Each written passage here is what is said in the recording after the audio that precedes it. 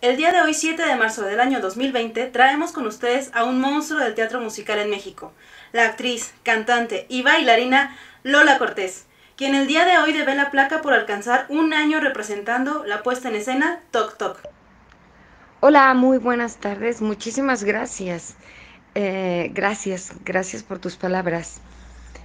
La verdad es que me, siento muy contenta. Veníamos por 10 eh, semanas, Tok Tok venía por 10 semanas de temporada y saber que tenemos un año quiere decir, vamos, que pues que estamos en el gusto del público, eh, que somos una, una, muy buena opción por el público. Es una obra muy bien escrita eh, por Laurent Baffy, un escritor francés esto, esta obra creo se estrenó en el 2005 en Francia con mucho éxito y ha estado en varias partes del mundo. Como ustedes saben, existe una película por parte de Netflix que es española eh, y que está en México, que haya cumplido un año pese a todo, todo, pues a todo lo que está pasando en nuestro país. Me siento muy dichosa, muy dichosa de estar en una obra de teatro en donde además comparto el escenario con mi hija, imagínate. El recorrido de esta obra ha sido... haber llegado Tok Tok fue algo difícil, haber llegado el estreno fue algo muy difícil. Eh, tuvimos que enfrentarnos eh, cada uno, obviamente por su parte, con sus miedos, con, eh, con su personaje. yo tuve que enfrentarme con cosas que tengo yo de, de, miedos, de trastornos, de, y fue, fue muy difícil, afortunadamente, como te dije antes, tener a mi hija a un lado fue maravilloso y ha sido maravilloso. Una mujer además que me conoce perfectamente y que es eh, indudablemente mi mejor amiga. Eh, ir de su mano fue maravilloso, fue increíble, fue reconfortante, ah, fue tranquilizador. Eh, tuvimos una gran directora muy estricta, eh, perfeccionista al máximo y a mí me parecía maravilloso sabiendo que era la primera obra para mi hija tan grande que fuera dirigida por esta mujer y que pudiéramos compartir además este esta dirección, estas enseñanzas. El recorrido ha sido muy grande de cosas buenas, de verdad también cosas ah, no tan buenas. Yo sufrí la pérdida de mi madre, que para mí fue algo muy difícil, pero tenía el apoyo de mis compañeros eh, y de la producción. Eh, Tok bueno, pues es que Tok Tok me enfrenta con mi... Con mis yo tengo el trastorno de ansiedad y cuando me enfrenté a eso directamente era algo de lo que nunca había hablado, solo con mi familia, obviamente. Eh, fue muy difícil tener que, que abrirlo, que platicarlo con mi directora, con mis compañeros, enfrentarme con algunos talks que tengo. Fue,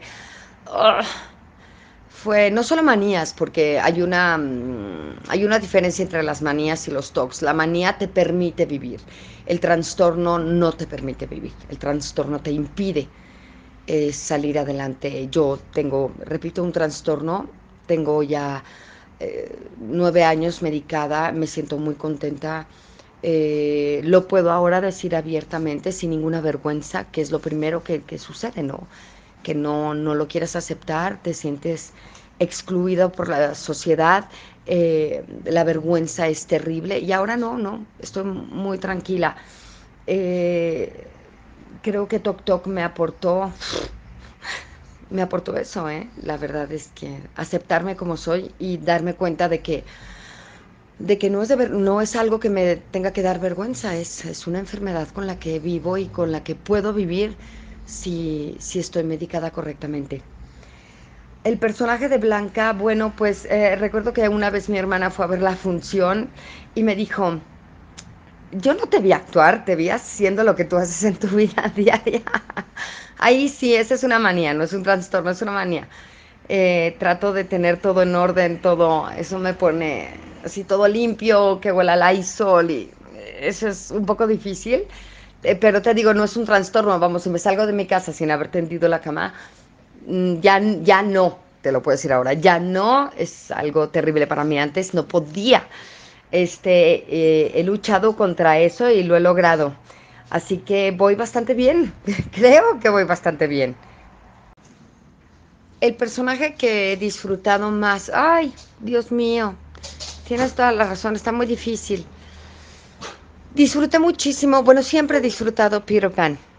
Eh, Peter Pan ha sido maravilloso. Yo creo que eh, la vida lo sabe y por eso es que me lo ha regalado tantas veces. Eh, han sido en cuatro ocasiones y, lo he disfrutado siempre muchísimo. Eh, pese a los riesgos que hay, porque hay riesgos muy grandes con respecto a los accidentes, lo disfruto, pero muchísimo, muchísimo. Este, Dulce Caridad es una historia ah, que me llena el corazón. Eh, Sweet Charity es... eh, me, me encanta.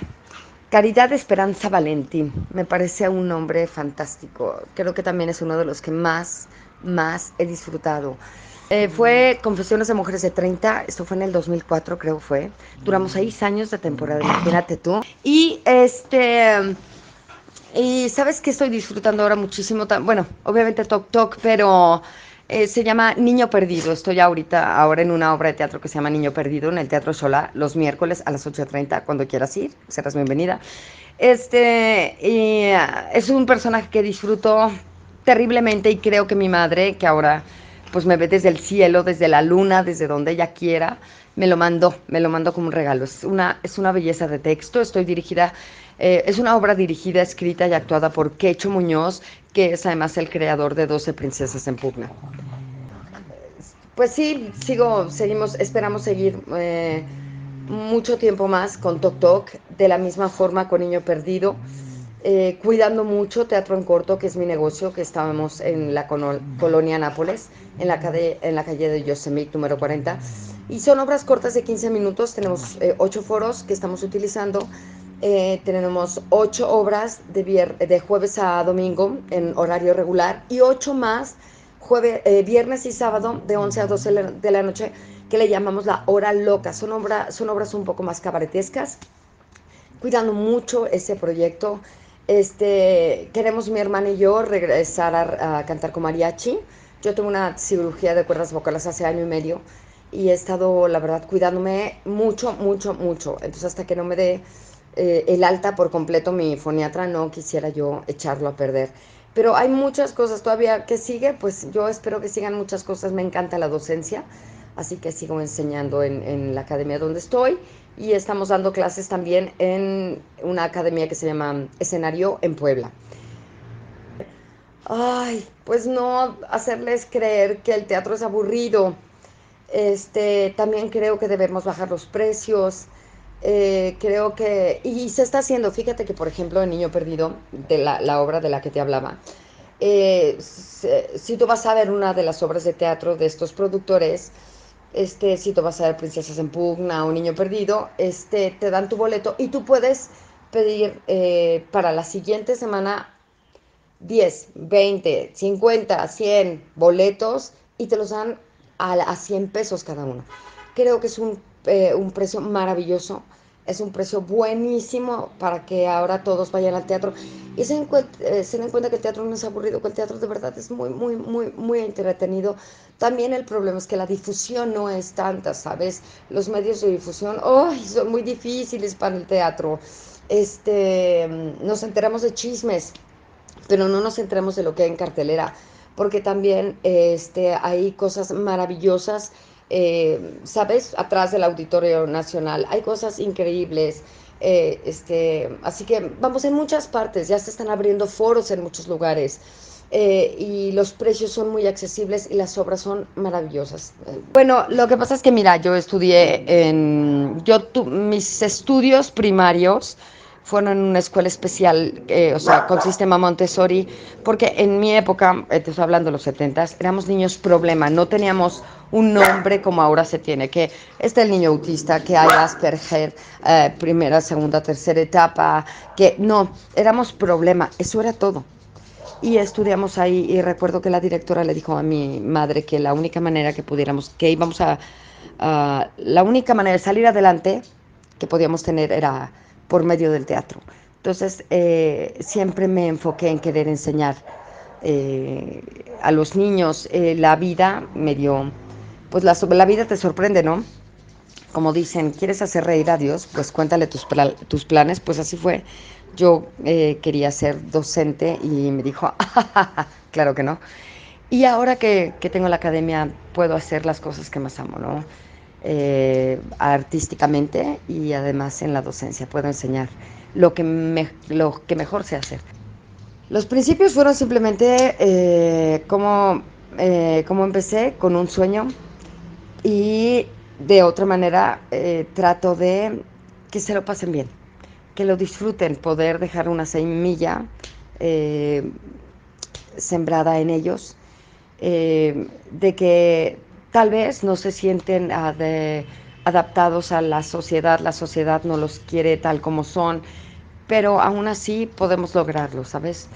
Este, soy muy paciente con ellos, soy muy exigente, soy muy disciplinada y también se vale la pena reír porque el, el, el, el teatro es un play. Eh, este es el único lugar donde se dice, o sea, este es el único país donde se llama actuar. Este, eh, pero se empezó y, es, y se llama play, es un juego. Y de alguna manera trato de hacerles entender que esto es, es con toda la seriedad posible, la disciplina, eso es un juego. Pero por supuesto, creo que siempre ha sido así. Creo que siempre ha sido así y creo que de alguna manera por eso se ha mantenido en tan buen lugar, porque es la manera que tenemos para comunicarnos, para expresarnos, eh, para eh, darnos a entender, ay, ¿qué te diré? No sé, catártica, lo que te hablaba, ¿no? Yo de, la terapia, de los talks, ¿no? De los trastornos, es terapéutico para nosotros también, este, definitivamente. Eh, así es y así ha sido y así tiene que ser. Claro que sí. Este, pues antes que nada agradecerles todo su cariño, su apoyo. Este, gracias por creer en mí como artista. Todo esto que he hecho ha sido a una disciplina, eh, a una educación disciplinada, una madre que estuvo ahí cuidándome, muy estricta, que me enseñó lo que es el amor a la música, el respeto al escenario, a las tablas, al público. No hagan a un lado sus sueños. La gente les va a decir, no, por favor, de eso no vas a vivir. No, eso no tiene, eso no te va a llevar a nada bueno. No, discúlpenme, pero yo de esto como, esto no es un hobby para mí. No ha sido un hobby para mí, ni para mi familia, ni para mis padres, ni para mis abuelos, ni de esto hemos comido. Esto no es un hobby, es una carrera. Es una carrera de la cual me siento muy orgullosa de tener. Así que por favor, no abandonen sus sueños, sean tercos, pero sean disciplinados, perseverantes, estudien, lean, cultívense, vean todo con asombro, no pierdan a su niño, disfruten la vida y recuerden que vamos a jugar así como lo hacíamos cuando éramos niños, con esa seriedad con la que no te dejabas alcanzar o correteabas a tu compañero con esa misma seriedad. Nos vamos a subir al, al escenario y vamos a jugar. Aquí somos otras personas u otras cosas o estamos viviendo otro momento. Vamos a jugar y a demostrarles que tenemos muchísimo talento porque estamos preparados y porque nacimos con él.